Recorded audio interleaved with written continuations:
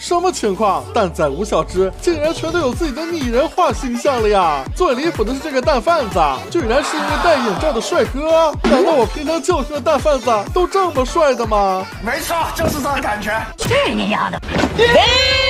作为蛋仔里人气最高的五只小蛋仔，他们组成主角团，出现在了许多官方的 CJ 里。之前的视频我们也是通过游戏加载图分析了五小只蛋仔的各种性格，比如小蓝就是妥妥的高冷男蛋，虽然跳起来确实毁形象啊。很尴尬，兄弟。小粉呢，则是活力十足，还有点腹黑的感觉。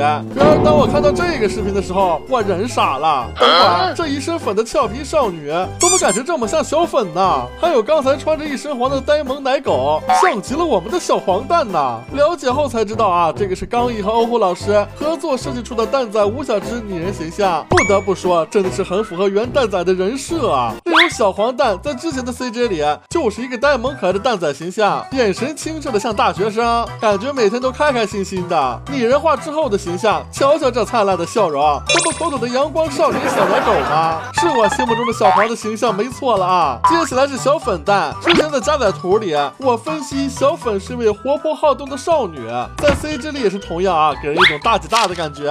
因此，小粉的拟人化形象一出场就把我迷住了。这俏皮可爱的姿势，还有这嘴角微微上扬的腹黑笑容，活泼开朗，永远的积极向上，这不就是我心里所想的小粉了吗？这要是我的蛋搭子，该有多好啊！给你个大嘴巴，穿的损出，穿的顺塞。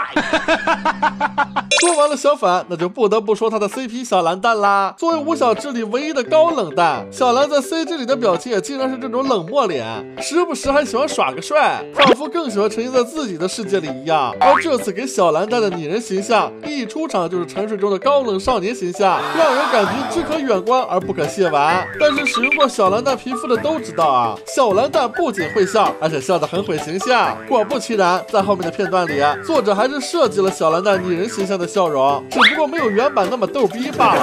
哎，怎么样？大家觉得小粉和小蓝这俩形象？般配吗？觉得般配，那就把般配打在公屏上，必须的。接下来第四位就是我们熟悉的蛋贩子啦。作为蛋仔岛上的大反派，蛋贩子在五小只里的人设同样也是那种带着坏心眼、贱兮兮的感觉。最喜欢的就是欺负咱们的小黄蛋。然而当我看到蛋贩子拟人形象的时候，我人傻了。我勒个去，这蛋贩子居然这么帅的吗？尤其是这坏笑，把我的心都融化了，好吧？不说了，瓦卡，我要去找蛋贩子当的搭子啊！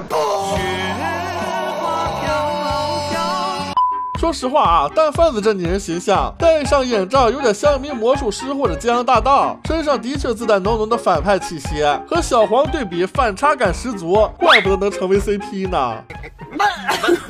最后一位轮到咱们的新人小绿登场啦！作为五小只里的新蛋仔，小绿第一次是出现在这部 CG 动画里，给人的第一印象就是柔弱爱哭的软妹子，而她的拟人形象可以说是极其还原，不仅还原了胆小、容易害羞、紧张的人设，眼角的泪花看起来让人很有保护欲啊！当她笑起来的时候，更是给人一种春风拂面的感觉，也难怪能和小粉成为好闺蜜呢。这么可爱的萌妹，真是怎么看都看不够啊！要是能把她的温柔分一点给小紫就好了。滚！打死你个龟孙儿！救命！救命！好了，以上便是五只小蛋仔的拟人化形象啦。话说蛋仔五小只的拟人形象，你更喜欢哪个呢？赶紧发出来，比比五小只谁的人气更高吧！